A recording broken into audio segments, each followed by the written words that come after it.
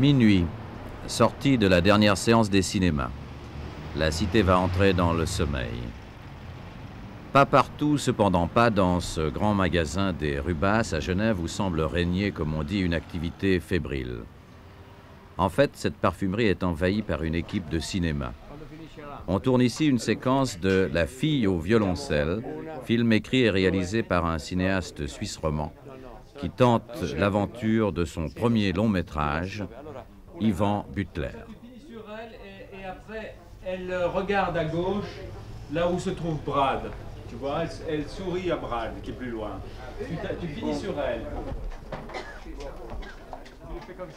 Ce premier film d'Ivan Butler, nouvelle manifestation du cinéma suisse, va sortir très prochainement sur les écrans parisiens puis en Suisse romande. Il raconte un moment de la vie de M. Lariel, que joue Michel Lonsdal, adjoint à la direction d'une grande parfumerie.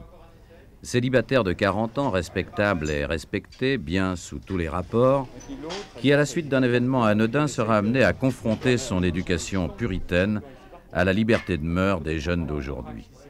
Confrontation révélatrice et dramatique, un homme prisonnier du carcan de ses principes, un homme bien élevé, soudain déboussolé devant la jeunesse, va descendre progressivement le chemin qui conduit à la destruction.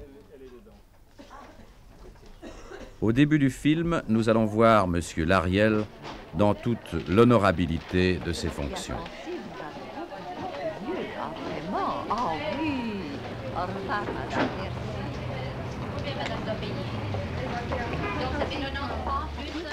Ah, Georges. Toutes les vendeuses de la parfumerie, je dis bien toutes les vendeuses de la parfumerie à la salle de conférence, s'il vous plaît.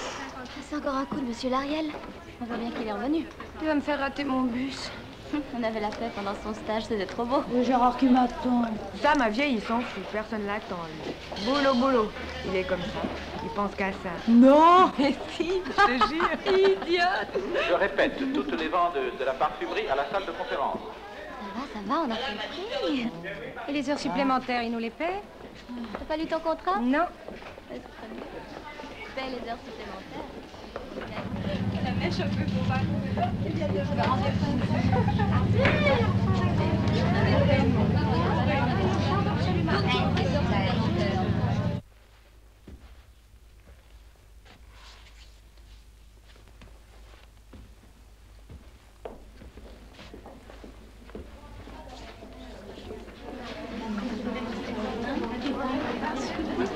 Bonjour, monsieur Lariel, vous avez fait bon voyage, Oui, j'espère. excellent, je vous remercie, très bien. Bonjour mesdames, bonjour mademoiselle. Bonjour, monsieur. Eh bien, comme vous le savez toutes, je reviens d'une tournée en Allemagne, d'où j'ai rapporté quelques produits très intéressants. Euh, je ne vous parlerai aujourd'hui que de celui-ci. Euh, C'est la bombe à eau de la forêt noire. Je suis très fier d'avoir décroché cette exclusivité qui fait sensation. Euh, C'est donc ce produit qu'il nous faudra pousser cette quinzaine. Quant aux méthodes d'accrochage de la clientèle, n'hésitez pas à recourir à la démonstration. Angèle Gabriel, vous permettez? N'est-ce pas frais Pur? Pur, voilà le mot-clé. Utilisez-le, il est à la mode. N'oubliez pas que dans un contexte où la pollution nous menace chaque jour davantage, des mots comme fraîcheur, pureté se chargent d'une signification profonde, d'un symbole de paradis perdu. Faites circuler.